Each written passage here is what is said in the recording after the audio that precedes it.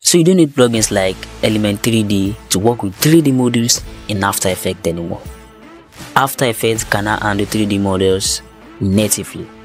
Yeah, without wasting much of our time, let me show you how to do that and where to get these models for free. So stay with me to the end.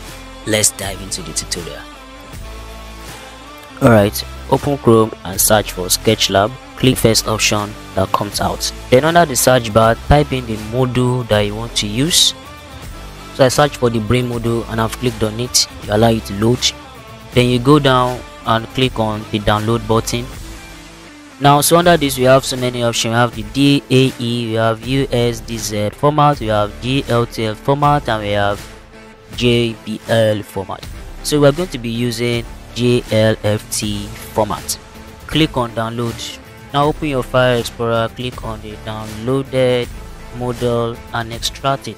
Open After Effects and let's import these modules there.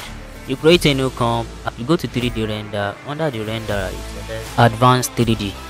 You click OK. So you head back to your file manager and select the JLTF format then drag it to your comp. You create a new solid and move the 3D module into your timeline. Make sure you leave the settings like this and play around with your creativity.